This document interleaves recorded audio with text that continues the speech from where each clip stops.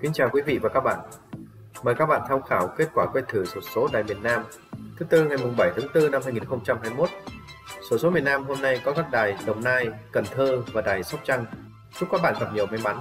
Kết quả quay thử sổ số miền Nam giải 8, đài Đồng Nai 07, đài Cần Thơ 54, đài Sóc Trăng 16, giải 7, đài Đồng Nai 018, đài Cần Thơ 570, đài Sóc Trăng 506.